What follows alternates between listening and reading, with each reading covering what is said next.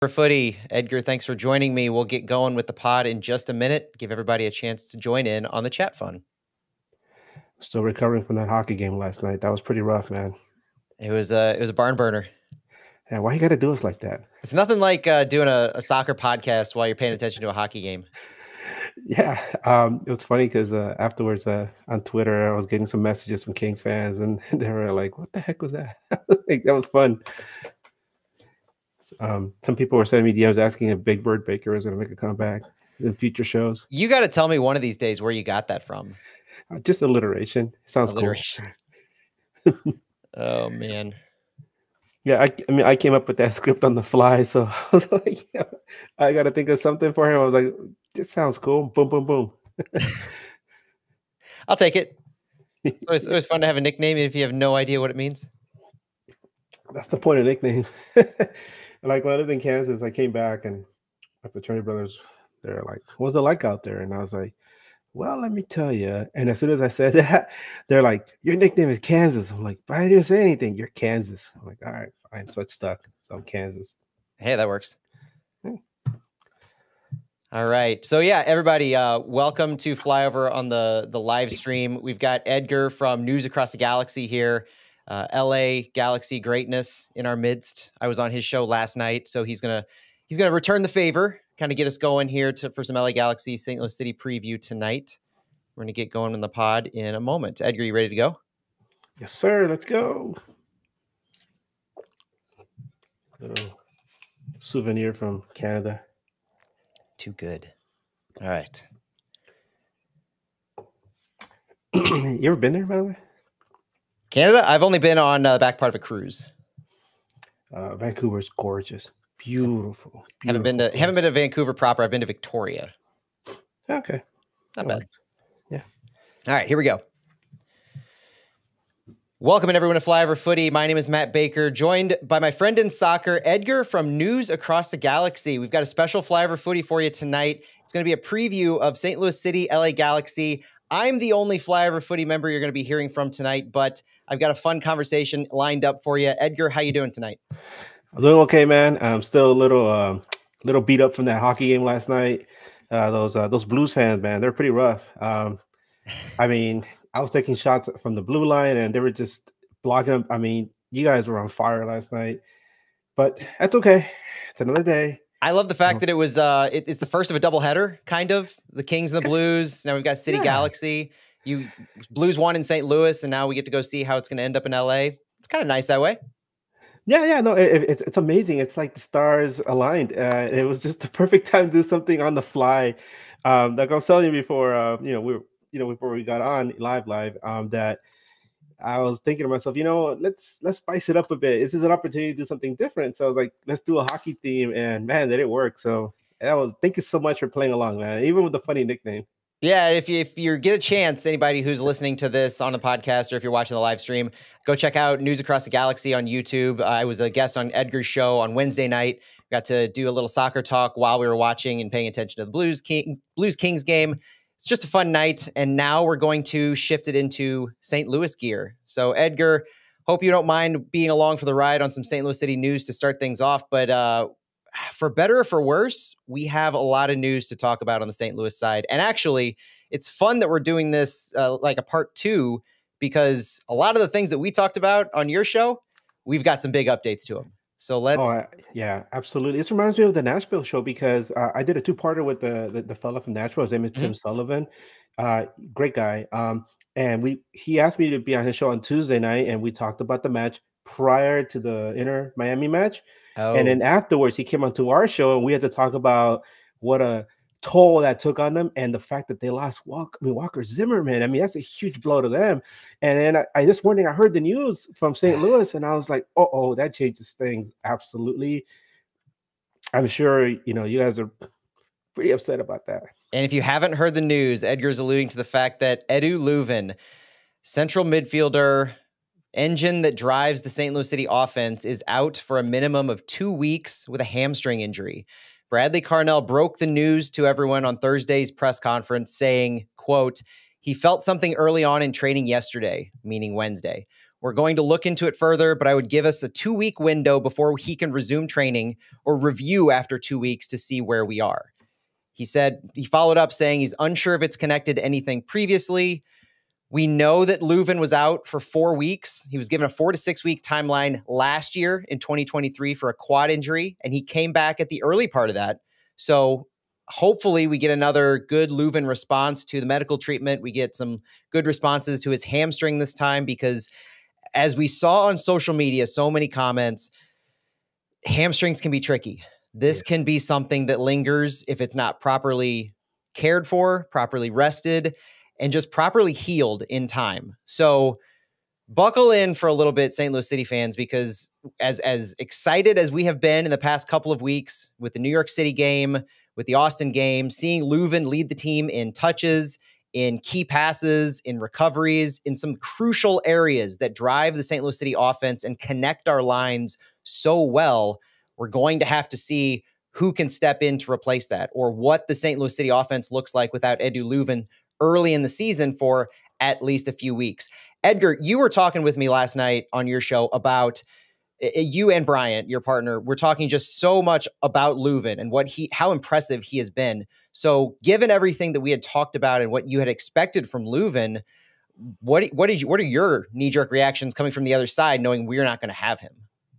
Well, the the first time I heard about the what happened to him, it, was through the filter of some Galaxy fans who, reacted by saying, "Hey, this is awesome for us. You know, this this is you know this is you know good look, you know, good news for us." But uh, you know, me, uh, I've been around the sport long enough where I want to see the best. Right? I want to see the, you know, I want to see a good, fair matchup because to me that that shows, like we were talking about, we want to see a barometer of where both teams stand at this point in the season. It, it's an important test for both clubs. Mm-hmm. I want to see Galaxy go up against the best. So seeing this is was really uh, disappointing for me. It was, uh, it was kind of sad to see a player of that caliber get hurt, especially somebody that important and the fact that it was a hamstring injury. Um, uh, when I was younger, I, I, used to be a forward, and I, I remember like one time I got a hamstring injury, and uh, you know I was young, I was like 19, 20, and I didn't think too much about it.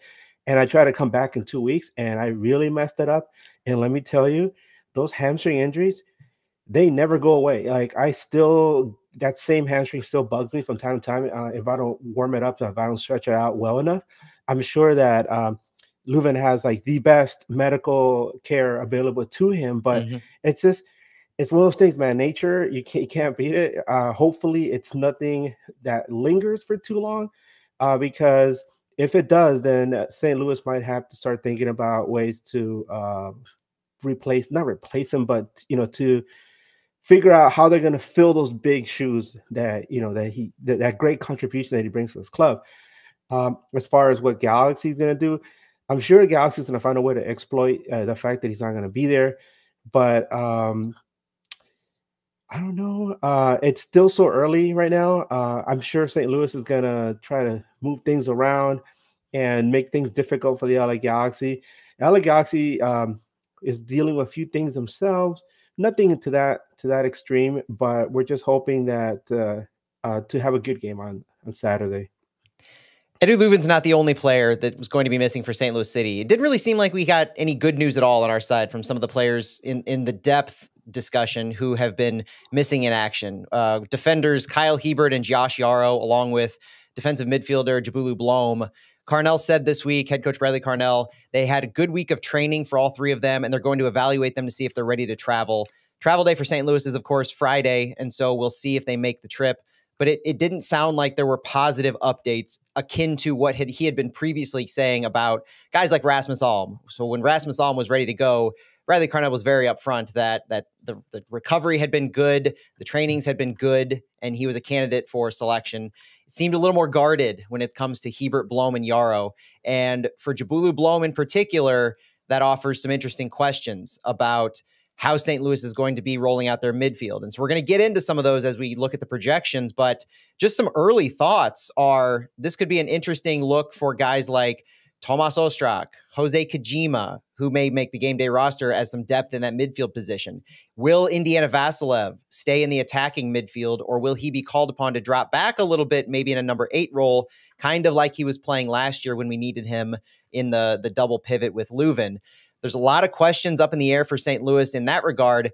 And it it harkens back to last year in 2023 for this. So before we pivot into previewing and looking at the Galaxy's injuries in particular, I remember back, and I just want to refocus everybody to the Edu Löwen, Edu Löwenless St. Louis City team last year, and it took about three games to figure things out without Löwen. This was the middle of the season. We had already lost Klauss. We had figured out how to win without Klauss, and then Löwen goes down for a few games, and it took some time.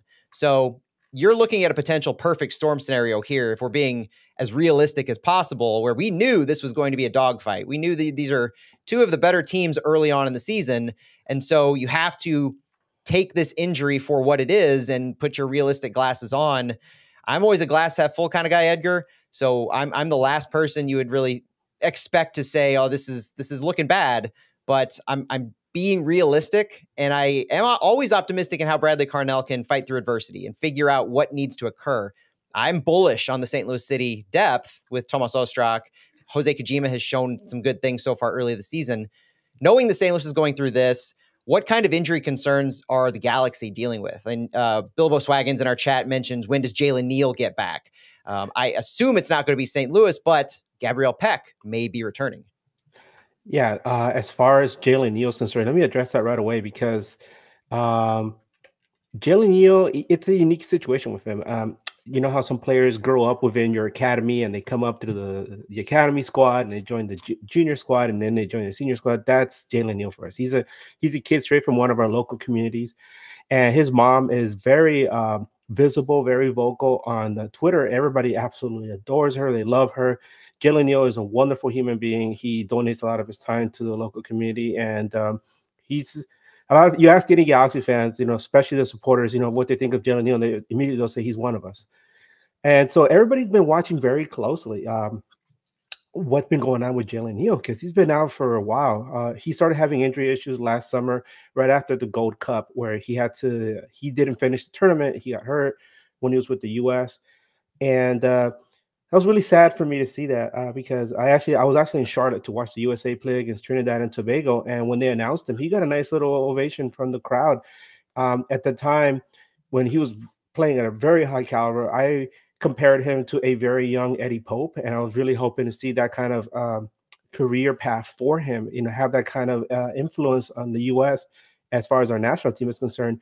Now, shifting to the LA Galaxy, a lot of people have been asking his mom on Twitter, so you know, when is he coming back? When is he, you know, and you don't ask those things, right?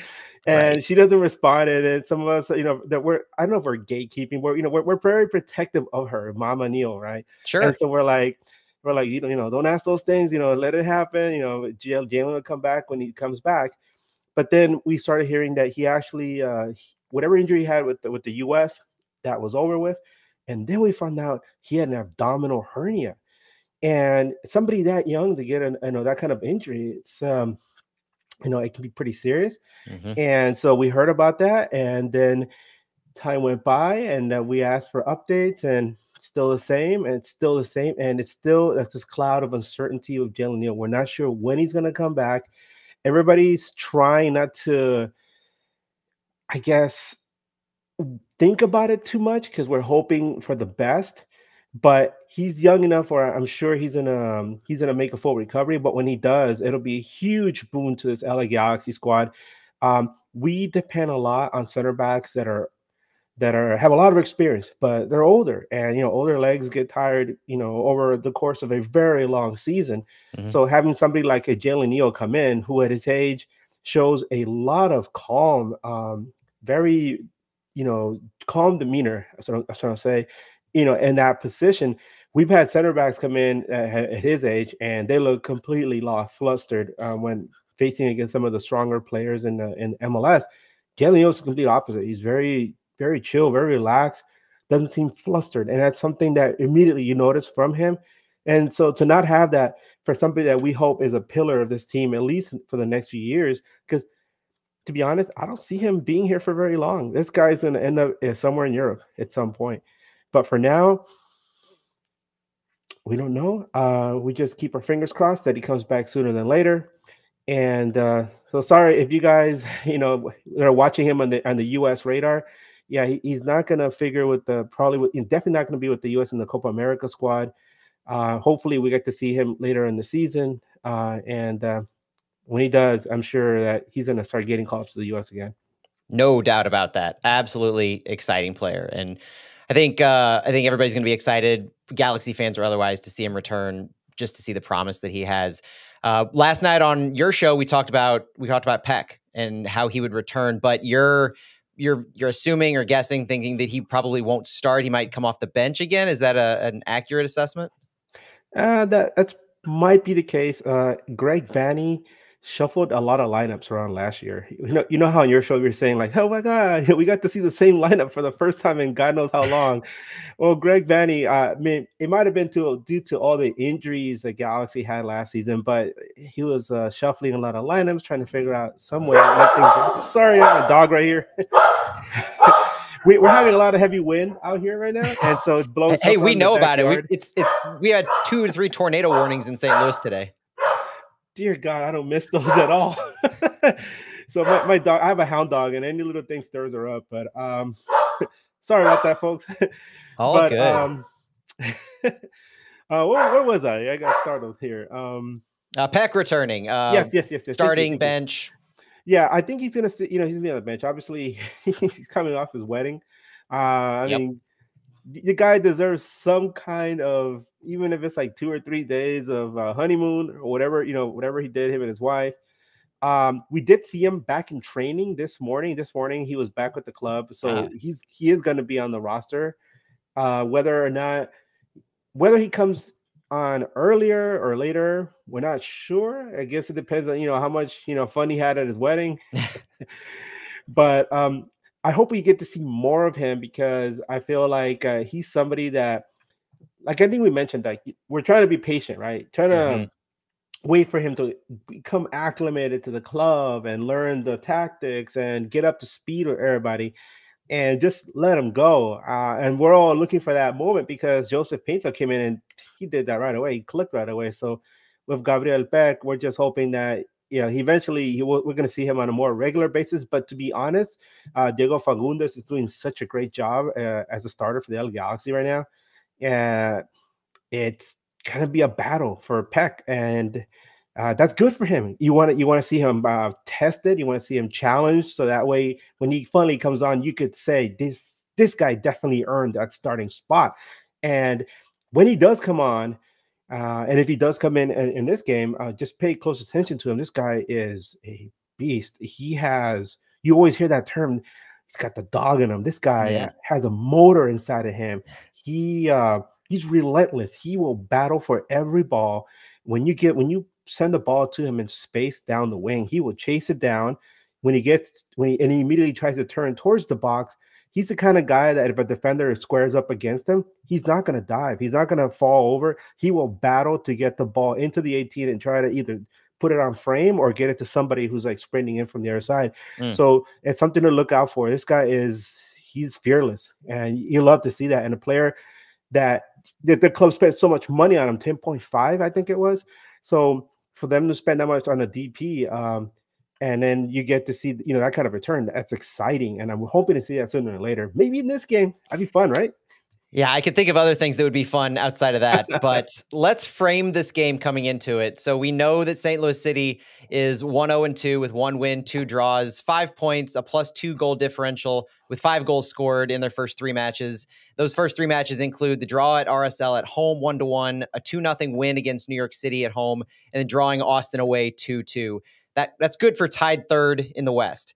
Joining them tied for third is the LA Galaxy. Same record, five points, one win, two draws, plus two goal differential, but the Galaxy are just slightly ahead with six goals scored themselves. Their form in the last three games, they you guys started off drawing Miami one to one in Miami's second game, your first to start the season. You defeated the Earthquakes in the Cali Classico 3 1 at San Jose, and you drew Nashville in Nashville last week, which was a fun matchup to watch. It was, and the only home matchup that you guys have had so far was Miami. So this is a return of, of sorts to you at home, right? Yeah, I'm glad you had fun with that match because it was cardiac for me, man. I was first of all, I was at a kid party, so that, that's pretty traumatic. Oh, it was great and TV. Then, and then I kept getting updates from my friends, and I was like, "Oh my god, we're down two nothing."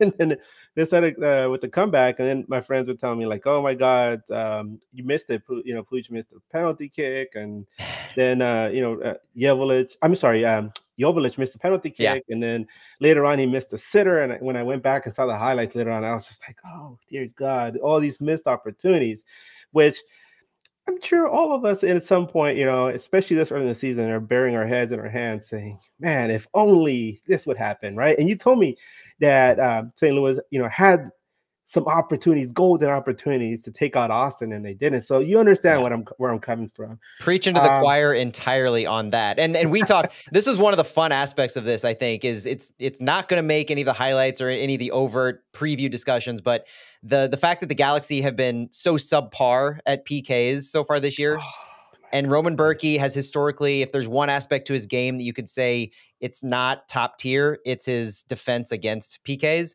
So this could be a battle of just something has to give. Like we said, somebody has to either a, a, some, Bürki's going to show up or some a goal is going to be scored on a PK. If that ends up happening, and with these two teams that are probably going to go pretty physical at it, it's not out of the realm of possibility.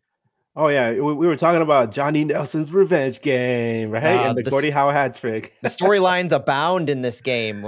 I, I, that's you know right off the bat. Before we talk about how the Galaxy have looked in these three games and what some takeaways have been, uh, the the Bürki and the Joveljic PK battle could be something fun to watch.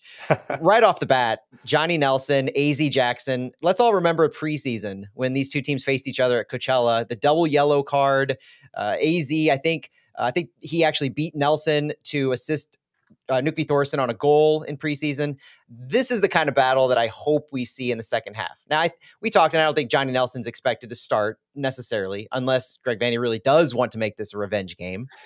But, but I think that would be a fun second half match, right? Oh yeah, absolutely. Um, I, we were joking uh, last night about because um, we were doing the whole hockey thing, right? And I was sure. like, you know, if you're familiar with hockey, you know what the Gordie Howe hat trick is, right? You get a goal and assist in a fight. So I was like I would love to see Johnny Nelson come in and do something like that because it's it's drama. We love yes. drama in our football. Not you know not crazy drama, but just the right amount of drama where you can you can go home and say, yeah, that was fun. We need our storylines. Um, yeah. So there's a lot of storylines. You know, like you said, there's the you know Bürki versus you know the the the Galaxy players that just can't put the ball in the net. Uh, you know, now I don't know who the heck's gonna line up. Is it gonna be Paintsil? Is it gonna be Fagundes? Maybe Maya Yoshida, our captain? Who knows? Maybe they might put McCarthy, our goalkeeper, up. You know, have to take penalties. Um, but yeah, a lot of people. Uh, now that you mentioned Nelson, just to let uh, St. Louis fans know, uh, a lot of people in LA are slowly beginning to notice uh, Johnny Nelson. Mm. At first, people there were a lot of question marks surrounding him. Uh, Matt, you were very gracious to come on to our show and explain, you know, uh, what Nelson's addition to the club was at the time. Uh, but the fans, you know, the the general population, you know, they weren't able to did have access to that, and but they've they've been noticing him. They're noticing like he's a very serviceable, hardworking guy who comes in, and you don't feel there's going to be like a huge drop off as far as quality is concerned because he just does his job. And the fact that we have somebody like Paintsil along that flank helps a lot because it takes some of some of the I guess some of the weight off his shoulders. So he, he just focuses on just doing simple things, going up and down. But when he's called on to to move up, he will. And uh, but so far, nothing to complain about with John Nelson. So thank you very much. We really appreciate him. Glad we could help on that one. We had our, our left back struggles that I think every St. Louis City fan listening to this is just rolling their eyes at, thinking about what we had to deal with last year and wishing for the the quick arrival of Nicholas Dewar into our starting lineup. But actually happy with how Anthony Markanich has been doing. He has been no slouch at all and holding his own out there, uh, fresh off the Rapids 2 from last year. Edgar, let's let's look at some of the stats that frame this game too. Uh, we're a stats based show. We love to dig into the the nitty gritty into how these teams stack up against each other. So through now three matches, which we're starting to see some trends develop, we've got the LA Galaxy averaging around 51% possession, St. Louis averaging around 45. But the games so far this season, that the averages might sound like, oh yeah, that sounds like an LA Galaxy team, or this sounds like a St. Louis team in the mid 40s. But the the individual games have been so wildly different. I looked it up, and LA Galaxy against Miami had 37% possession. Miami's the only team in the league that essentially possesses the ball more than the Galaxy regularly, and they crushed you guys in possession in that first game. But then you turned around and had 63% possession against the Earthquakes, and then 53 against Nashville. So I feel like you're you're kind of settling in there. Same thing with St. Louis, especially when they're uh, at home, especially away, we're starting to see some interesting things happen. Where at home we had 37% possession against RSL, 43 against New York City, and then we figured out how to score goals by having possession against Austin. so that was exciting to see. Both of these teams, high octane shot, shots on target. They're both averaging 15, 16 shots, both averaging five, six, seven shots on target, and they're they're being very effective in progressing the ball, both teams. Key passes, passes that lead directly into a shot. The Galaxy have 39 on the year, St. Louis has 31. Shot creating actions per 90. This is a stat that I love to give because it says the two offensive actions that lead to a shot, a pat, which are a shot, a pass, a take on, drawing a foul, those moves that get you into taking a shot. The Galaxy have 30 of these, St. Louis has 22. The Galaxy, though, are the fourth lowest team in MLS in tackles with only 34 tackles through three games. St. Louis has 46. Interceptions, which is a key stat for any team playing St. Louis because St. Louis likes to send the ball and we don't make many short passes. Medium to long is our bread and butter. The Galaxy are third highest in MLS in interceptions with 40 through three games. Progressive carries is another fun one that I like to look at where the Galaxy, thanks to Ricky Puig, 56 progressive carries throughout the first three games. And then overall touches. This is one that you're going to start to see some separation as these games develop between these two teams. Overall touches, just showing the volume of possession, essentially. The Galaxy have already over 2,000 touches in three games. St. Louis has just under 1,500. So you're seeing probably what we're going to end up with is, I would say, two to 300 uh, difference in number of touches overall. But my highlight stat of this, as we go through all this, is passes received and progressive passes progressive passes received, which is a completed pass of greater than 10 yards from the furthest point in the last six passes or a pass into the penalty area. What it says is essentially if you're if you're progressing the ball around the field, this is that that one indicator on you moving the ball up the field significantly. So if you take the number of five or six passes before that and you have one that's longer than 10 yards, you take that as your progressive passes received. The LA Galaxy, through three games, have over 600 more passes received in general than St. Louis. But the number of progressive passes received is almost identical. So St. Louis, in moving the ball up the field greater than 10 yards, is about the same as the Galaxy. This, this really shows how the Galaxy move the ball up the field. There are stats that go advanced that talk about uh, the number of passing sequences. But Edgar, does this sound like it describes the Galaxy team that you're familiar with watching, where you have a lot of these short passes, you have a lot of passes per possession, and the way that you progress the ball is very, very tight, very intentional, much less trying to spread the field out. Yes, definitely. A lot of the off, I mean, the offense pretty much runs through Ricky Puig, and so that means getting the ball up to him up the middle, which is kind of interesting because in seasons past, Galaxy would try to work the wings more, but they're I don't know what they're trying to exactly do with Ricky Puig because for the longest time, one of the things that we were asking for was an a real cam, a real center attacking mid, and which Ricky is not. But they're trying to make him into something like that. So filtering the ball to him, and Ricky, Ricky wants to be the man. You know, he you know he he's out here, you know, in uh, in LA, which you know depending on how you look at it, you'd be like, it's Hollywood, right? Eh, Hollywood's like off in the distance, but you know, it, it gets that kind of I feel, right? You're in Hollywood. Oh yeah. So he he he wants to be the man, right? He wants to be the man. So he will get the ball and he will carry it. And a lot of times Galaxy fans are like, please, Ricky, your winger is waving at you. Pass the ball. The guy is wide open, and Ricky would just be like hustling, and he'll have three defenders around him. Or like, pick pass, pass the ball, Ricky. And that's this is one of the reasons why Tyler Boyd was, you know, going nuts last year. Uh, he would mm. make these fantastic runs up the flanks, and Ricky would just you know, be trying to. He would he would see. We would joke there'd be three defenders in front of him, right, with forks and knives out, you know, foaming at the mouth. and then there's Tyler Boyd off on the side, like waving at Ricky, and then Ricky would be like, okay, and he just run into the three defenders instead of passing the ball off. But uh, we're hoping to see less and less of that because he has these amazing tools at his disposal, right? With, uh, with mm. Joseph Paintsil and with Gabriel Pec, who eventually is going to become uh, more of a consistent part of this offense. But we're seeing more of a trend towards him actually, look, you know, lifting his head up and try, trying to find his teammates. And some of those goals, many of those goals that Galaxy scored were did come from the wings once the ball was distributed to the outside, especially in, in the last third, in the attacking third, where Joseph Paintsil was able to use his speed and they were able to work with Diego Fagundes and Mark Delgado to who's two of our midfielders, and they were able to whip the ball back and across the box, causing some some sort of chaos and get the ball into the back of the net. Uh, as far as Riqui's concerned, uh, I noticed that uh, St. Louis plays very aggressively.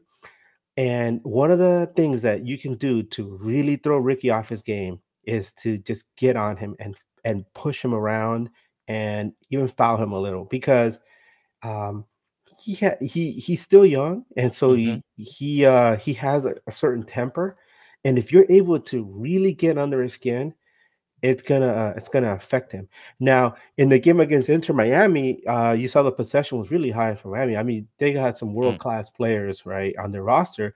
Riqui tried to be the man. He tried to carry the ball and do all these things, but the Miami players were having none of it. They're just pushing him and shoving him, and you know, and he would he would get some of his runs here and there. He would do a little thing to knock gets to the ground, but against that class of player, you can only do it for so much, right? And um, that's what we saw. Now, as far uh, against St. Louis, like I said, um, maybe they're maybe they're going to be looking for that. Maybe they're going to be looking, knowing that uh, St. Louis is going to be more aggressive, and then they're going to try and get more, you know, more fouls called, uh, especially with this rough, uh, this shoddy refereeing. You never yeah. know. Something that could be a foul might not be a foul, but who knows? Maybe one day when you got Judy Hopps, you know, calling the game and. you know, look at this, you know, if there's like seven yellow cards before the half or something. Um, well, honestly, that that's one thing I think St. Louis might have learned from last year is how do you handle Riqui Puig? Because I remember the game in LA last year where Sam Adeniran had circles run around him, got frustrated, and drew a red card. I mean, he had I think it was a second yellow, but the what Riqui Puig can do if he's on his game and you don't have that high level tackler or defender who can stop him or have a professional foul, you know, not a not a, a foul that will draw a card, he can really cause a lot of problems. And that's one thing I think we're going to be having issues with without Edu Löwen is uh, that again defender in the midfield who's physical, he's smart with how he tackles, he doesn't draw many cards, Löwen.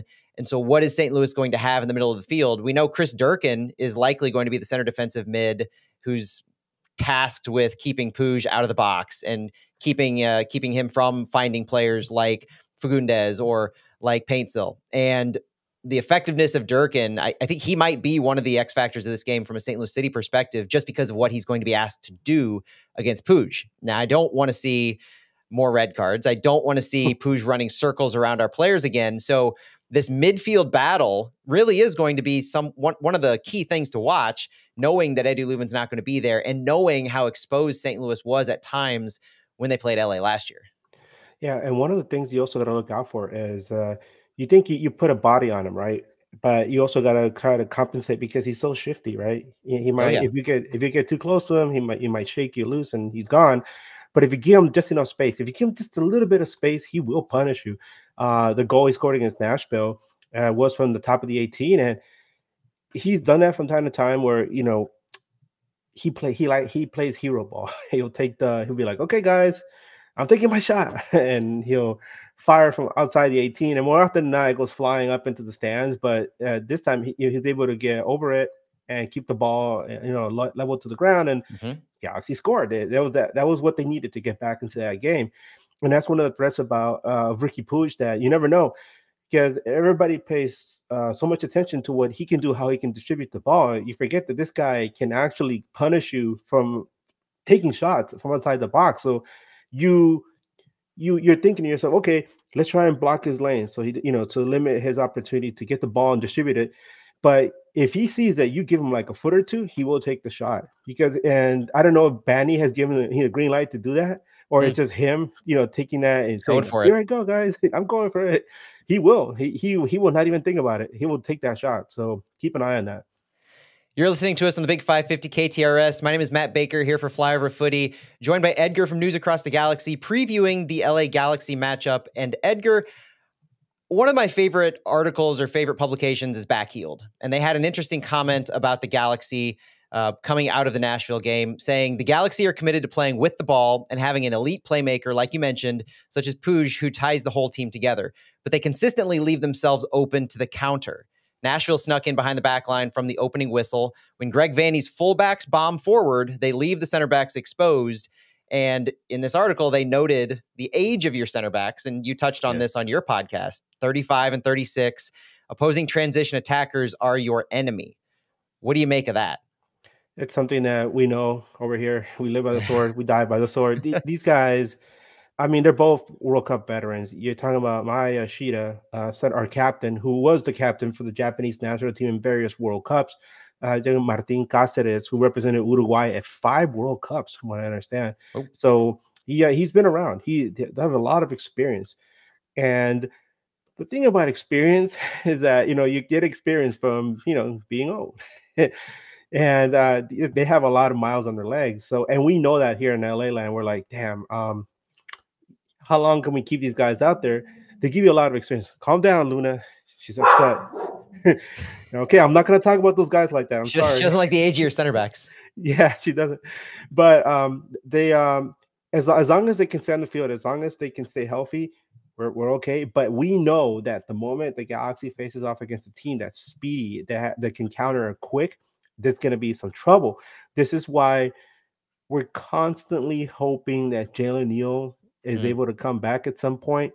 And uh, there's also the hope that at some point Galaxy can pick up a serviceable younger center back, hopefully during the summer, uh, that can come in and provide some relief because, uh, I mean, these guys are not long-term solutions. These guys are just yeah. there, you know, providing experience uh, hopefully the the I mean the the hope was that Jalen Neal would be learning from these guys, you know, and a game in game out basis because one of the things that Galaxy would do would they would pair Neal with either Cáceres or Yoshida in the back before uh, Yoshida came in. It was Cáceres, so you had that good dynamic where Neal's quicker, and you know, I mean, he's not super fast, but he's quick enough where he can get mm-hmm. back and cover for Cáceres. But now that he's not available, you know, it's it's it's it's kind of hard to make that up. Um, but yeah, it's definitely it's definitely a concern. It's definitely something that I'm sure other teams are going to exploit. Uh, we didn't see that too much in the Inter Miami match. Uh, we didn't see that too much in the San Jose because San Jose, uh, from the get go, Galaxy had them on their heels. And but against Nashville, yeah, you know, it started to happen and uh, hopefully St. Louis isn't paying too much attention because we want to see our guys, you know, undressed like that on the field. So Edgar, this matchup features a lot of league leaders already. First three games, so a lot of the guys we've talked about on your side at least. Uh, goals, Dejan Joveljic has three, tied for first in the league. Mark Delgado has two assists, tied for second. Riqui Puig leads in just about every other non-shooting category. Uh, number of free kicks, he's first in the league with 24 shots on target. He has nine, tied for first. He has 304 passes attempted just himself. St. Louis, on the other hand, and this is driving a lot of the things I'm seeing in our chat. A lot of questions about our formation, a lot of questions about who we're going to have in potentially our playmaking roles, because our league leaders are Edu Löwen. Shots assisted, he's third with 12. He has 12 key passes through three games, third in the league and 17 free kicks taken, second in the league. So he has a lot of things that need replacing. And my notes are essentially shot on this game because I had key players. I had Löwen in line to be the the difference maker in this, the one who makes all the the the capabilities in our midfield work, the flow, and it's all shot now. So the question pivots on the St. Louis side to how do we mitigate for that? And as we talk and, and rewind down this show, looking at what formation St. Louis might run out here, how we're going to how we're going to cover for the loss of Löwen. I mentioned at the beginning that Thomas Ostrak comes to mind as the person just inherently to take over because I don't see this as you want to blow up the system. You you don't want to change the formation. Bradley Carnell is very much a next man up kind of guy. And so let's not I, I caution against thinking about this too deep and trying to overthink what St. Louis might do to compensate for the loss of Edu Löwen. Um, we, uh, we still have high level fullbacks that have been playing this game. Mark Markanich's been great. Dewar's on the horizon. Thomas Totland is a massive difference maker, and I would watch out for that guy. If you're watching this from LA, watch out for number 14, Thomas Totland, our right back, because he will be in the attacking third more often than not, and he will be one of the biggest facilitators for our attack. He is that high caliber of a player and one of, if not our biggest addition in the offseason. Chris Durkin's also going to be right there. And like I said earlier, he's going to be tasked with taking care and eliminating Puig. So we'll see how effective he can be. His probably biggest real test, first real test right now, since he didn't go up against Sebastian Driussi. Njabulo Blom, uh, Brendan Stanfield asked in our chat on our live stream, is Blom back? And the answer is probably not. Bradley Carnell was not very forthcoming in optimism for Njabulo Blom or Josh or Kyle Hiebert. So I'm I'm not expecting Blom back, but if we see him, that's going to be a happy um, a happy turn of events. I, I'm not being optimistic in seeing him. Our attack, though, there's a lot of questions in the 442 or the 4231 because Klauss and Sam have started once together. It wasn't earth shattering. Both of them have had successes as subs, and both of them have had successes as starters. Not consistently, though. So it is anybody's guess as to how we're going to be running those out. We haven't yet found a flow in our attack. In in Austin, for instance, Edgar, all of our attacker, our, our attacking offense, um, shots on goal, targets, touches, progressive carries, things like that, went through our wide attacking mids. Celio Pompeu, Indiana Vassilev, even Thomas Ostrak when he entered the game, AZ Jackson, and Rasmus Alm, who made a cameo appearance for his first appearance in this in the season 2024 against Austin, played for four minutes or so, and he already had five or six key, five or six passes, five or six touches on the ball, where he was a key difference maker in helping us to create that second goal. Him and Klauss helped keep the ball that facilitated the cross in from Totland to Celio that tied the game. I would look for more playing time for Rasmus Alm, but I don't know if he's there to start. So, all this to say on the St. Louis side is I don't think we're going to be changing too much to compensate for the loss of Löwen because we haven't gotten into enough of a groove that I think we just say he's that vital to this 2024 team that if he if we lose him, we have to do something markedly different. Edgar, on your side, you're looking at a Galaxy team that for the past two games, they haven't changed their lineup at all. And I, I think we're expecting them to stay the same. What's your prediction on the formation and how this Galaxy team is really going to be playing against St. Louis? Uh, yeah, absolutely. Actually, it's been uh, three games, the same lineup. All three. Games, so yeah, so if it ain't broke, why fix it? Uh, unless uh, Vanney surprises us with Johnny Nelson from the start and Gabriel Pec. I mean, that'd be fascinating. Galaxy fans would probably be wondering what the heck's going on. But for right now, um, the it, will probably be the same starting lineup. It's like um, it's like a yeah, it's four three three pretty much. Uh, mm-hmm. Vanney ball. So we have uh, McCarthy at back. Uh, John McCarthy he came over from LAFC. So a lot of Galaxy fans are still getting used to him. You know, he's like.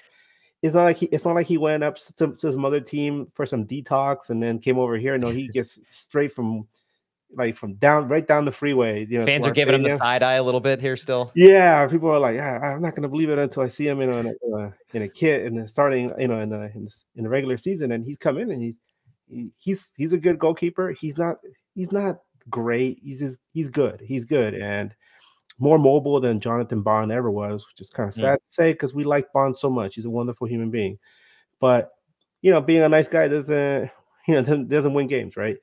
But uh, at the back, like I said, we have our wingbacks, which are Julian Aude. He came from uh, Lanús in uh, the Argentinian uh, league, and um, he's a kid that uh, was highly touted by his fans over there. Uh, when he when he finally did come over here in the summer, um, I know a lot of Lanús fans were very attentive to how he was going to react because he had just suffered the death of his grandfather, Oof. and so they're saying it affected him greatly and his first few games here were pretty good, but then after that, you could tell there was a dip in quality. And I think uh, he, he, was either homesick or you know he was still dealing with the grief of losing a you know beloved family member. But he's he's a tall kid. He's fast. Um, my only gripe with him is that he he hits the ground very easily. So you you run by him, he's like ah, you know, it's like he got sniped or something. So we're always wondering, is he dead? You know, no, he's just you know doing his thing. You know, it's just the kind of football that he grew up playing, right? Uh, but that's Julian Aude. He's on he's on the left. On the right, we have Miki Yamane, who comes from the Japanese national team. He has uh, we benefit from him because he has the experience of having played with uh, Maya Yoshida on the national team level for many years. Um, Yamane is younger. He's pretty quick. We're learning. Uh, he's, he's he came in as an unknown, so a lot of people didn't know what to expect from him. So in these first three games, we're seeing this guy works really hard. He's mm. very quick. Uh, he he makes very few mistakes, and he does his best to try to help uh, Yoshida when Yoshida's uh, speed uh, isn't there to you know get him back on time. So we've seen uh, situations where Yoshida will make a mental mistake that we think will be a goal, and here comes Yamane out of nowhere to try and clean up for him, and that's been a very refreshing sight for us because we for a while we got used to seeing Galaxy give so many trash goals where they make mental mistakes and they just don't have the speed to get back and clean up and they, they leave Bond out in the zone. That's not the case this year. Um, and then at the centers, we have Captain Maya Yoshida and Martin Cáceres, who I spoke to about to you guys about earlier. In the midfield, uh, Mark Delgado, who's having a pretty solid season. Uh, Edwin Cerrillo is a player that I have not mentioned. We did not mention in our show. Edwin Cerrillo is really young kid. He um, he came in uh, for the Galaxy and he surprised everyone with his uh, performance against um, a certain player named Lionel Messi. he stood up to him. He didn't back down. Only 23 years old. He's a guy who was oh. in our academy. And so, I mean, I'm sorry, not our academy. He was in the FC Dallas Academy. We got him here last summer. And if, if you know anything about FC Dallas and their academy, they oh, yeah. quality players out. So when he came over, people were like, wow, this guy came from the FCD Academy. Let's see what he's got to offer. There wasn't too much, uh, too many opportunities for him last year, but this year he's taken, he's been a starter every in every game. And at first, people were wondering why. And then after three matches, they're like, yeah, this guy definitely belongs there. He's he's really good. And uh, then of course Riqui Puig, the man, you know, who who carry he's like the spine of the offense. And then up top, you have Dejan Joveljic at, at center forward. And then out in the wings, you have Joseph Paintsil and Diego Fagundes. Paintsil, uh, he didn't look his best against Nashville. Uh, we talked about this, uh, Matt, about whether or not the time change had affected him, having to wake up real early, you know, on this mm. real big boy trip in MLS, uh, having to travel, you know, way outside of California because every match for him had been in California so far. Um, so, like you said, waking up what like 10 30 a.m., 9 30 for us, oh, yeah. go playing at that time it you know it, it, he probably wasn't ready for that but watch this guy. If he comes to the game with a chip on his shoulder he's going to be a menace because there was a locker room video of the galaxy players in the halftime game um, of the san jose game.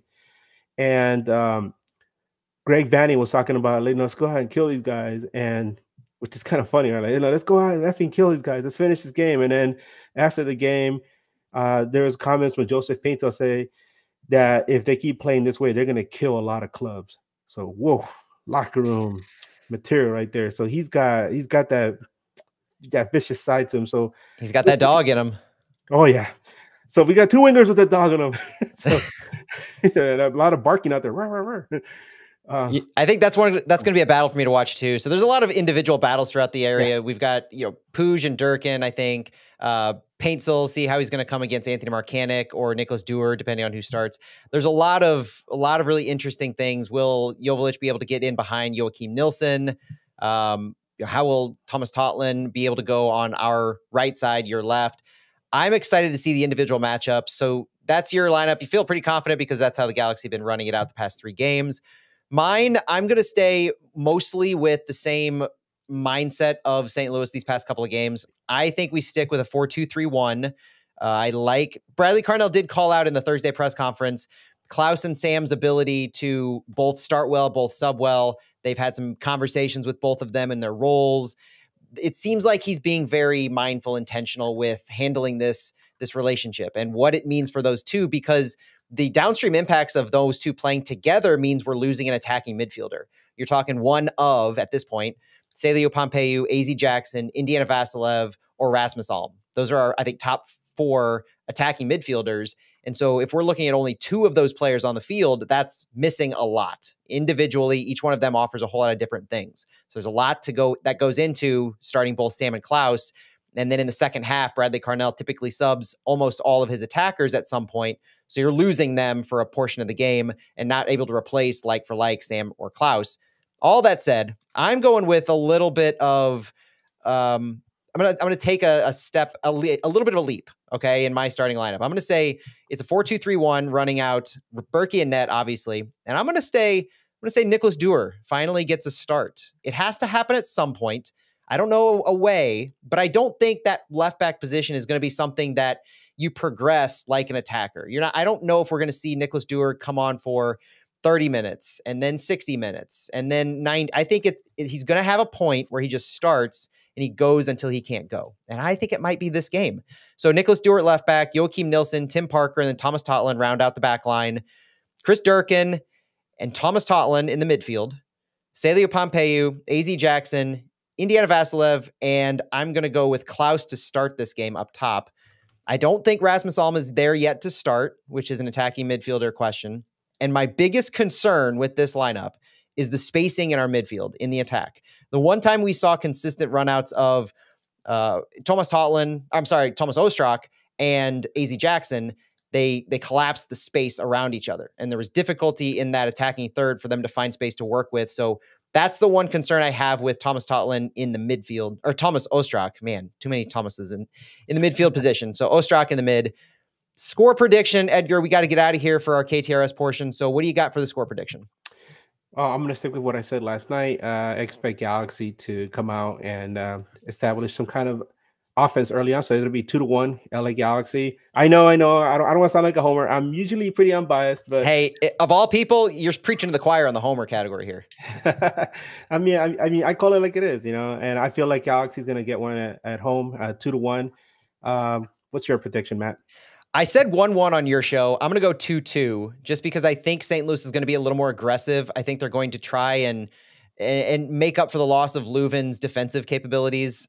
My question is how where the offense is going to come from without Leuven being the one to control the ball through the field. So that's the thing to watch is uh, whether it's Thomas Ostrak or Tom, Thomas Totland. How are these guys going to progress the ball? Who's going to be that engine? And is it going to be through the wings primarily, or are we're going to let Celio carry the ball for days. So 2 2 as I go. Edgar, any parting thoughts before we get out of here on this first portion?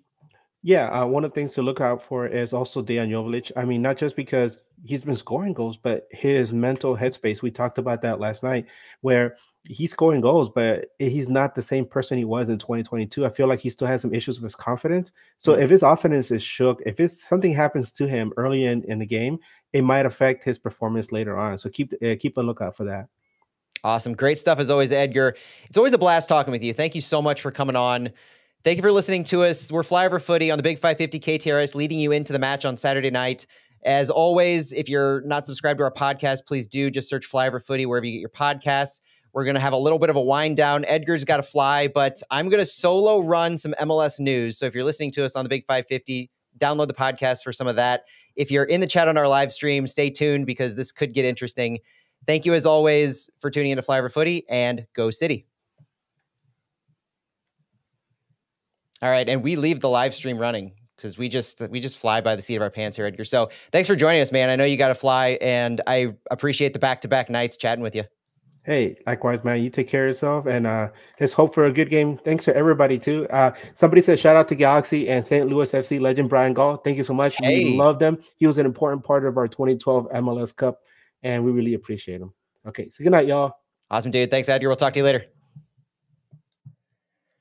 All right, like I said, this could get interesting with a, a solo run, some MLS news. So if you're in the chat, uh, gear up because I'll be right back as we usually do with the wind down. Grab a drink, just lay back, chill out for a minute, and we'll get going with some of that news.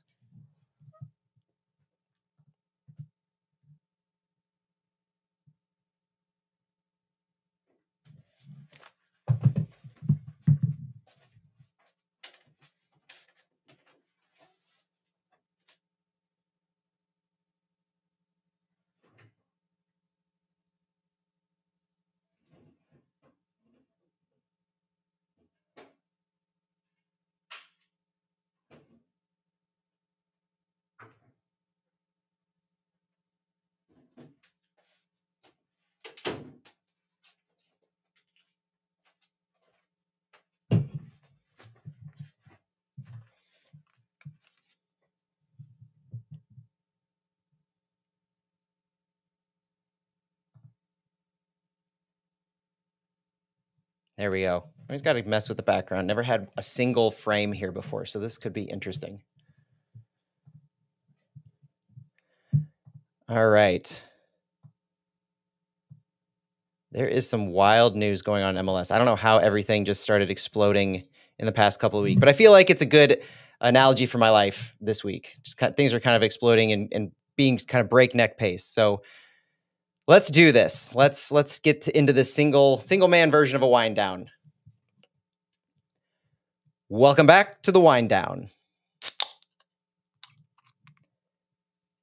As I mentioned at the end of our first portion, it's just me. So if you don't like the sound of my voice, you may be in for a rough time on this one. But if you do and you don't mind it, and you're into some uh, MLS musings, stay tuned. I've got a nice uh, citywide hoppy ale, hoppy pale in front of me, actually, which actually kind of is is funny because of how many breweries have really adopted the NA beer.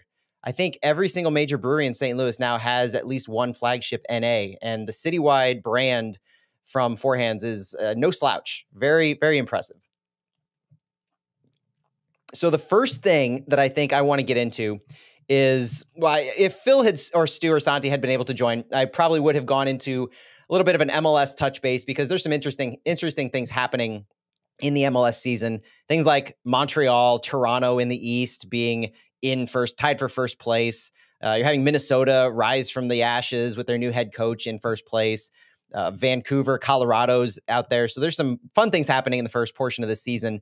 This weekend, though, if you are not used to tuning into MLS Season Pass, uh, shameless plug that all of their games are free. And so if you're not used to watching MLS matches, if you don't subscribe to it, um, or you've just been watching City maybe at a watch party, feel free to tune in throughout the week because the presentation's legit. The, the quality of the matches is fun to watch, and it, free weekends are always fun the St. Louis City news that broke this week is their Leagues Cup announcement.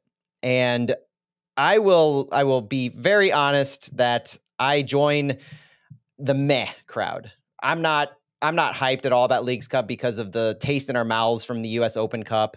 Um, fully supportive of the supporters group's decisions to boycott the Leagues Cup tournament. I think MLS has shot themselves in the foot on what could otherwise be an incredibly exciting tournament. I've said before, I'm a huge fan of the concept of Leagues Cup. I think it has a lot of potential. And there is a lot of ways in which you can marry having a Leagues Cup with US Open Cup, with Champions Cup, and an MLS season. And none of it has to do with backing out of the one that is the most historic of them all. And so, with that said, St. Louis Leagues Cup 2024 action starts July 27th against FC Dallas at City Park and will continue on August 4th against FC Juarez at City Park. The group stage will be those two matches for St. Louis City.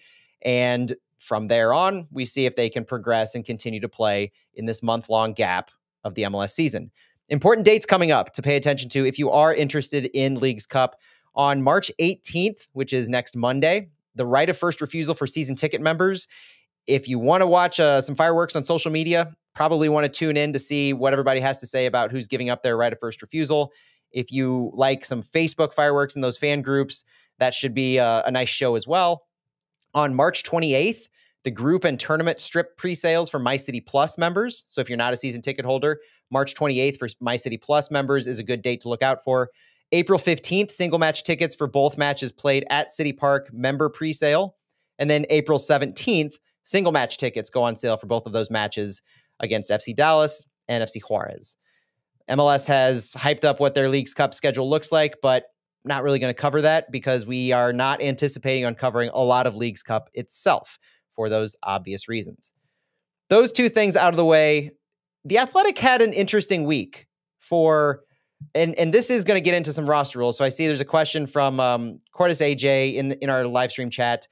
Roster rules is one of the things. The Athletic had a, a few articles this week, and I know that I know the Athletic loves to get a lot of the exclusives. They're a, a, good source of information. But there have been some comments this week that the Athletics articles border on border on being a mouthpiece for the league. And I do see that a little bit in the three articles I'm going to allude to. Uh, one is the roster rule changes. One is the Don Garber and Nelson Rodriguez comments, executives for MLS, comments on the US Open Cup. And the other is Don Garber's comments on the referee situation. I don't feel there was too there were too many pushbacks. Is the thing I th- I agree with that fact that there were things said, especially in the U.S. Open Cup article, that everybody is taking umbrage to, and I do mean everybody. I have not seen a single independent publication that has yet to say I see what they were saying or this makes sense. We understand what you're going for here. It is and, and I'll go through this this article in particular because it's universally panned. But let's start off with the roster rules. So let, let me frame it with the question we have in chat. I do love roster rules. I love this topic. I wish MLS was more open with their roster rules and they were they were more flexible. But I love knowing the nuances that go into this. So Durkin is a U22 guy. Do we know if any of our other guys would fit? Seems like the U22 DP change in the summer is something that Lutz, Hackworth, Bradley Carnell could leverage. I absolutely think they can leverage it. Unfortunately, none of our current players would fit because the U22 initiative only works for your first MLS contract. You can sign a player from outside the league who meets the age requirements to a U22 initiative contract, which means you can have a high dollar transfer fee. You can pay them more than the league maximum, but they only hit the budget at that 150 $200,000 range, and the transfer fee doesn't apply to the salary cap. That only applies to players on their first MLS contract. Chris Durkin is a U22 player because he was brought in, brought back to MLS, signing his first actual MLS contract as a U22 eligible player. And so he now is, I believe, 24 years old, but you can be a U22 up until your age 25 season. The impacts to the salary cap get a little less meaningful. So it goes from about 150,000, I think, to 200,000 in uh, how much it hits the cap. But Dirk Durkin applies because we got his U22 rights from DC United. We don't have anybody currently on our roster who would be able to like retroactively go. Doesn't quite work that way. But the whole change to this roster rule is previously correct. Homegrown deals do not count as that first deal. Currently, with the roster rules, you have DPs and you have U22s that are coupled together. You have three DPs able to be signed to a single team. But if you sign all three DPs as senior level, meaning over the age of 23, then you only have one U22 initiative slot available. It limits the overall amount of discretionary spending you can have on on more players. If you have two DPs only, you have all three U22 slots available. If you have two DPs and a young DP, you also have all three U22 slots available. This move looks to decouple those, saying you can have three senior DPs and now you can also have three U22s. I would very much think of this as the Inter Miami rule post Messi because of what they've been trying to do so intentionally, building their squad around as many of these high dollar players as possible. They're the first team that I know of to have signed three U22s. One gets hurt, and then you bring in a replacement U22 on an $8 million transfer fee. That's the kind of money we're dealing with with Inter Miami. I think Jorge Mas is finally getting his way to this actual meaningful change, but I don't know how many teams are going to take advantage of it. Currently, there are, are only a handful of teams who even have three three uh, DP slots taken that allows for just one U22. It's Nashville, it's New England, it's Orlando City, and FC Cincinnati. No other team really has the allotment of DPs that limits them. So we'll see how this makes for long term on the roster rules. Uh, the next bit of MLS news is the one that's going to take a little bit of time to go over. I, I, I can't help but cringe at this. Looking at Don Garber and Nelson Rodriguez. Don Garber, obviously the commissioner. Nelson Rodriguez is MLS executive vice president of sporting product and competition. He's a Chicago Fire vet. He's essentially Don Garber's right hand man when it comes to all of this sporting competition related um, initiatives. And they had the there, there are so many quotes in here that I'm going to kind of try to break this down because it's it's bothering me so much. One Don Garber quote in particular says, and this is related to the US Open Cup. Imagine MLB or the NFL playing all of their teams in a tournament that was scheduled during their season, in the middle of their season, in ways that the league had little to no involvement in at all. We financially have no involvement in it. We don't control the brand, we don't control the state of the facilities. This quote in particular is a microcosm of it all for me because that single mention, we don't control the brand, is is if it if it doesn't directly benefit us, eh, as a as a league, as an entity, MLS, we don't want to be a part of it. If we can't control the revenue, if we can't control how it's being marketed, we don't want to have anything to do with it. Part of it is they did control the brand, as MLS has a marketing arm called Soccer United Marketing, some that did have the rights to US soccer marketing for I, I think upwards of 20 years. They just they they were they disassociated from US soccer just a couple of years ago. And so now you're seeing more overt pushes since MLS doesn't have as much of a stake in this game. The state of the facilities is another one of those comments that has been used just like schedule congestion, which really has no true meaning in either the larger soccer landscape conversation, where you see FA Cup, you have DFB competitions in Germany, where they play in facilities because that's how you do it. That's what your domestic cup competition is. It's part of the beauty of it. You don't need to have state of the art facilities for amateur and low division teams. That's not what the purpose is. And also, I would I would tend to say you're looking. Uh, the pot is calling the kettle black a little bit in this conversation because of some of the facilities that MLS even today still has in regards to some of their turf fields and some of their just overall NFL stadiums that let's put Yankee Stadium aside for a second, barely qualify as state of the art facilities. So there's a lot of talking out of both sides of his mouth coming from Don Garber in this one. As you go into the quote, they start to comment on how fans feel about the US Open Cup. And we start to get into some funny math here, some funny funny numbers thrown around where Garber and Rodriguez are citing MLS surveys conducted through their fan panel which supposedly consist of thousands of fans that they converse with regularly, saying that of these competitions, the Open Cup is third at an interest of 6% of interest for fans. Leagues Cup is at 4%. And the number one and two is MLS Cup and CONCACAF Champions Cup. And they obviously position this as Leagues Cup being so new, it's only going to grow. It's already about to surpass the US Open Cup. There's a lot of, it seems, intentionally framing things to diminish the Open Cup because those other properties, aside from CONCACAF Champions Cup, which is just the absolute pinnacle of soccer in our region, they control all of those. So there's some obvious things going on here. Looking at some of the other comments, they do say, talking about the fans, they kind of belittle a lot of the, a lot of the fans who are passionate about the Open Cup. Nelson Rodriguez says, To us, it all ties back in together, but we're not just creating things. We're trying to listen to our fans quote, there is a very small, passionate group of fans who believe deeply in the Open Cup. He goes on to talk about his service with you with the Chicago Fire and their success in the Open Cup. When we talk about the level of appreciation for the fans, Don Garber as well kind of said that th- this is a, a group of fans who are, you know, loud, small, and we think that they don't are they're not reflective of a lot of the other fan bases, a lot of the other fans in soccer in in in the in the United States.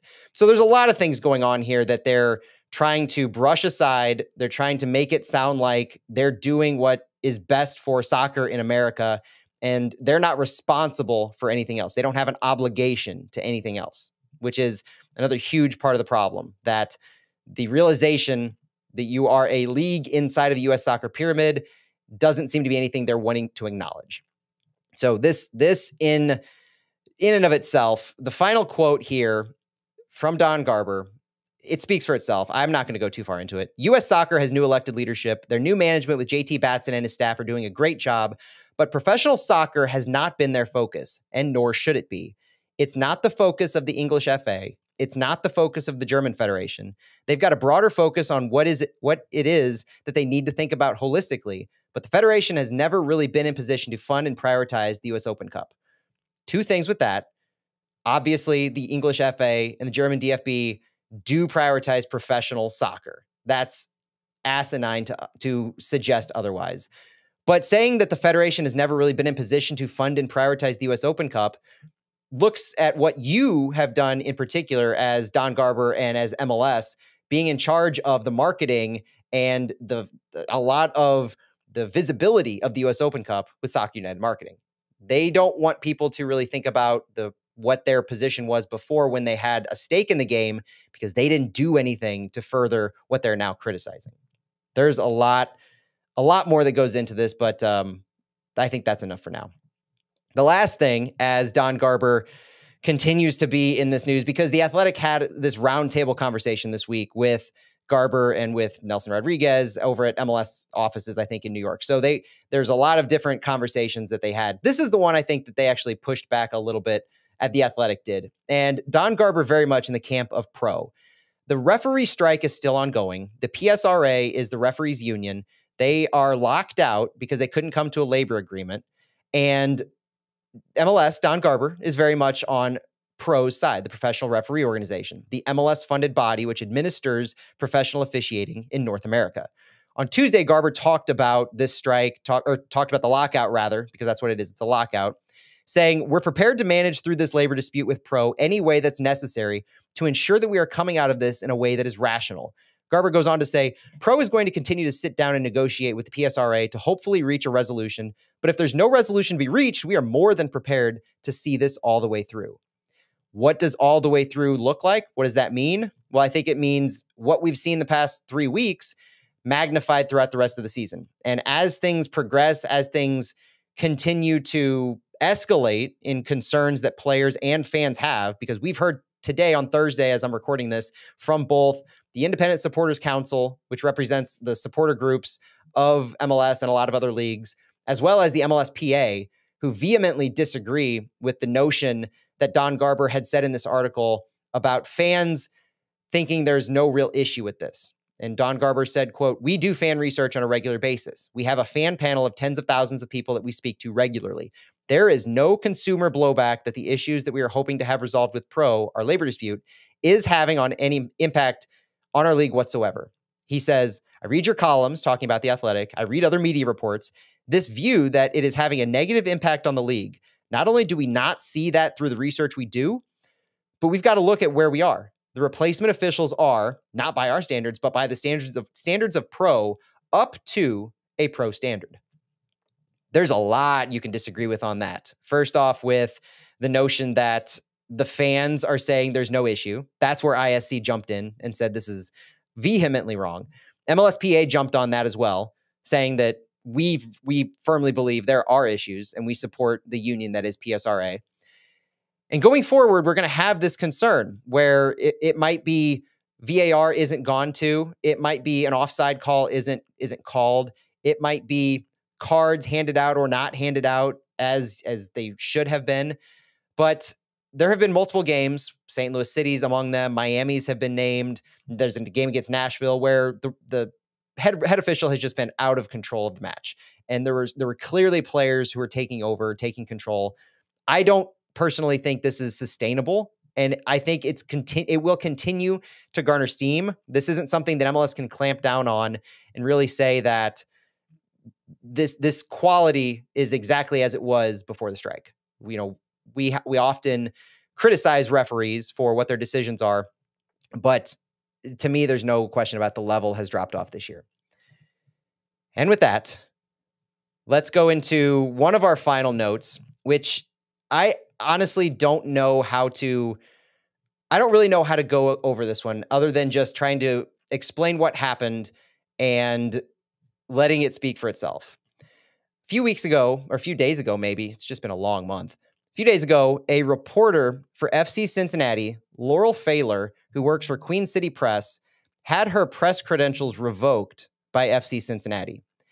At the time, it was very ambiguous on what really happened. Still kind of ambiguous, but at the time, Laurel just said that FC Cincinnati has revoked my credentials for two weeks. She said, I'm standing by my reporting and will continue covering the team from afar during this time, but wanted to be transparent as to why you won't see quotes in her coverage. This led to a firestorm on X, on social media, with hashtag free Laurel, with a lot of independent media being just absolutely appalled that a professional sports organization would revoke the credentials of somebody as respected as Laurel is. Because Laurel is one of the top independent journalists that cover MLS uh, of any team. Her coverage is paid for a reason. Like she she provides the quality that every team hopes to have in what their fans can get from their reporting. And so this went on since March 10th. So it's actually only been 4 days since I'm recording this. Quite horrifyingly short period of time. FC Cincinnati has since released a statement as well as Laurel releasing a follow-up statement. And FC Cincinnati on their website right now says in seven years, over thousands of stories, FC Cincinnati has never rescinded a reporter's credentials. They go on to say that reporters are invited, they're consistent with integrity. Since their founding, they've supported local journalism. here's the here's the kicker. They say we had no intention of making this story public. However, since Laurel Pfahler has driven public attention to the matter, we have no choice but to provide answers to the many questions our fans are asking. Laurel has failed to act in accordance with the standards and practices of the Society of Professional Journalists and the MLS Notice of Credentials Use conditions. She refuses to accept responsibility for her actions, despite multiple conversations and attempts at working together to forge a productive relationship between her and the club. Out of professional decorum, we will not be sharing the details publicly. Laurel did share a little bit publicly. She comes up, she follows up saying, I will not stand for bullying, but for now, this is my lone response to FC Cincinnati's statement of attack on me in response to others standing up for me. Quote, I strongly disagree with the statement that I violated any journalism ethics or MLS credential guidelines. Last week, when I asked for examples as to why I had lost credentials, I was told three situations where I spoke to sources outside of the facility or team approved interviews. I do not believe simply talking with sources within the team is how to cover a professional franchise. I believe the fans deserve more. There was a an article that appeared in the Queen City Press shortly before this happened, and it was an interview that Laurel had with Gerard Nijkamp, former GM of FC Cincinnati. And I, I believe this was occurring after he was general manager, obviously, but it's it's hard to find what examples they're exactly talking about in Laurel's statement of the three situations where she spoke to sources outside of the facility. Best of my knowledge, uh, this would have potentially included contacting some players, contacting staff independently of the club, and going outside those bounds to initiate interviews. That seems to be what's implied by her statement. Um, the, the content of those interviews is anyone's guess. And there are, in fact, more questions left than answers with this. But the firestorm of the free Laurel movement is far from over, as again, plenty of independent journalists, plenty of uh, blogs, podcasts, websites are jumping to her defense with this FC Cincinnati statement because it goes pretty far in regards to what they're saying about Laurel without giving the specific details. If you're if you're telling the world that a journalist failed to act in accordance with the standards and practices of the Society of Professional Journalists and that they refuse to accept responsibility, but you won't share the details publicly. That's that's drawing a, a pretty harsh line. And that that's borderline uh, some really legal implications there in in my opinion, my non-legal scholar opinion, of course. But th- there's a lot going on here. And it tends to set a bad precedent if this is something that can occur throughout. I uh, obviously have no experience with what Laurel's talking about um, as far as this happening. Um, I am, lucky enough and I'm uh, privileged enough to be able to attend some of the press conferences that St. Louis City has. And so the, these conditions would apply to people like myself, people to the, the big 550 KTRS, uh, to 590, to 101, KMOV, KSDK, the list goes on. The other, uh, you know, Justin Horniker is of the same mind with talking soccer and everything he has going on. So there's there's a lot of things that we're privileged to that thankfully we haven't had this concern. I can only speak to my experiences with St. Louis City that it doesn't seem like there have been any issues with requesting access, with interview requests, with speaking to personnel and so that's why I, I mentioned at the very beginning of this, I'm not quite sure like how to even respond to this other than saying I support Laurel and everything she's done so far. And I fail to believe, best that I know from her reporting, from her journalism, from her interviews, from her style, and from her professionalism, that she would do anything to fail to act in accordance with the standards and practices of the Society of Professional Journalists. N- refuting uh, an allegation is a far cry from failing or refusing to accept responsibility for supposed actions. I hope this is resolved quickly. I hope that there is some kind of amicable solution. And I definitely hope this isn't a uh, trendsetter that FC Cincinnati is driving with journalists. That said, um, Bill Swaggins mentions in the chat Cincinnati is kind of shady. They did some questionable things in the Miazga ref situation last year, too. Um, then John Denning. Oh, this I believe Laurel wrote the juicy article about the Matt Miazga locker room event. The club didn't give any actual examples. That's the thing. And so all the all the all that we have to go off of is the fact that Laurel said the club told her three situations about speaking to sources outside of the facility or team approved interviews. Like I said, the best I can uh, assume is she didn't go through the PR department of FC Cincinnati and and went maybe to a direct person outside and kind of skirted what those MLS credential guidelines would say and team policies. That's as far as I am willing to venture a guess because of what her statement says in response to FC Cincinnati. Um, I hope Laurel gets back on on the beat as far as being able to get quotes because her articles are are top tier